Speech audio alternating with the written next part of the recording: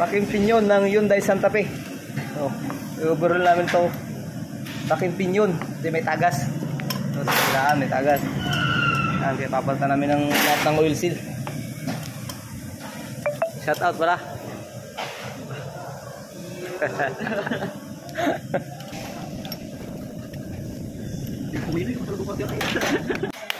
Ang Ayan siya? yan dito. Lock. Para matanggal mo yung oil seal. Ano kita yan? Pag lumabas na yun, huwag mo babalik. Ikot ng counterclockwise.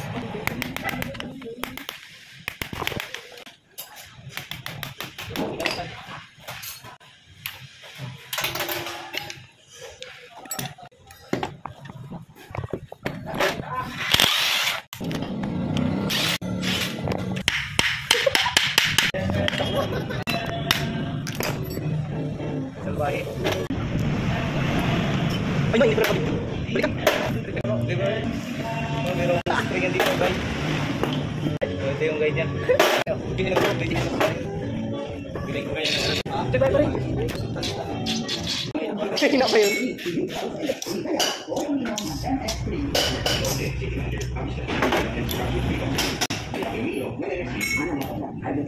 Oo, ubuhin ko na.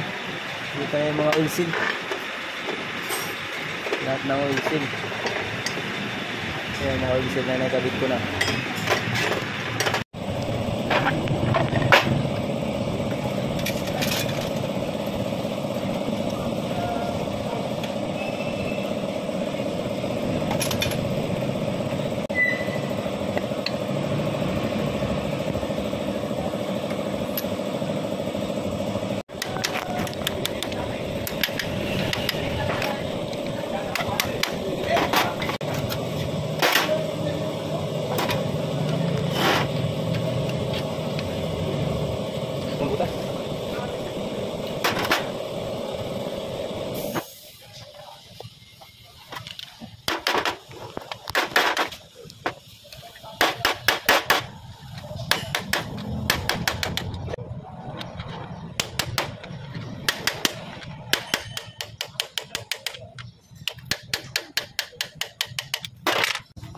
Lock niya.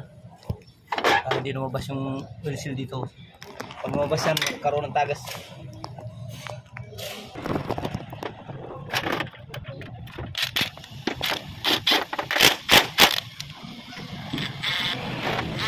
Yes. Please.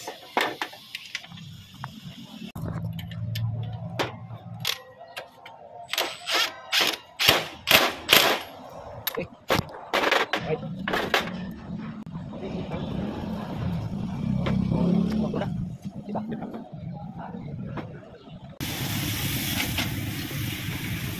Ito yung guide niya. Ito nag-adjust kung matigas sa malambot.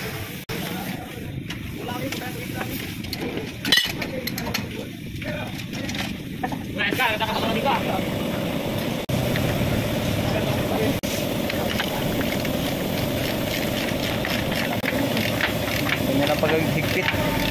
Hihigpitan muna tapos babalik ng mga tripod. Katulad ng ganyan, mahigpit na. Tapos babalik ng mga tripod. Yan. Ayos na.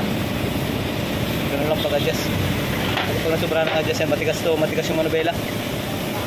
Pag nasubrahan ng adjust, kailangan saktong-sakto lang. Yan, dapat smooth lang. Dapat smooth lang sa pag-inikot.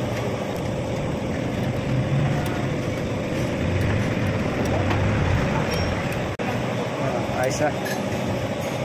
Ganun lang. Ganun lang mag-overall ng rakim pinyon.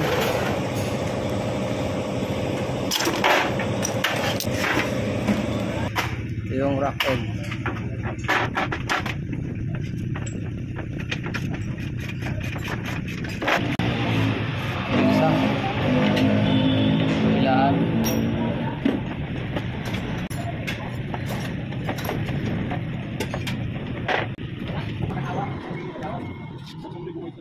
Rocky Pinyon to ng Hyundai Santa Fe.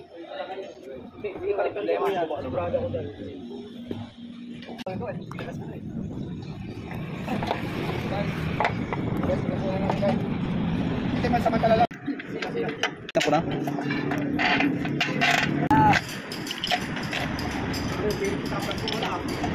Huwag ko nang hanapin, bumili ka na ng...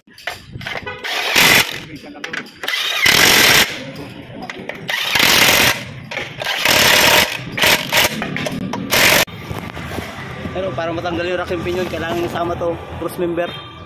Shout out kayo mga insan. Sila insan ko yan. So, nagpalit na rin kami ng stabilizer clamp. Dalawa kabilaan.